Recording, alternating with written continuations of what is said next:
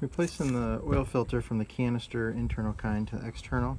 This is what our mount is like. So it's going to require the flat gasket and the other one requires the rubber uh, insert that has the groove, but we don't have a groove, so we're flat. Uh, so that's that one, and then this is this one here. There's two of them, they're the same size. One of them's thinner, one of them's thicker in the kit. The thicker one here goes with that style, the thinner goes with ours, so the thinner is going to go around the ring here of ours.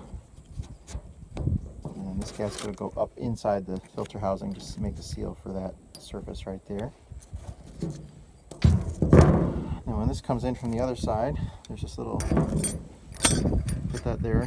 When it's all done and torqued, then you'll bend these tangs up over it. Uh, this goes inside there, and we're going to torque it. Uh, it says on 45 to 50 foot-pounds, and it says to use Loctite uh, stud and bearing mount on the threads there.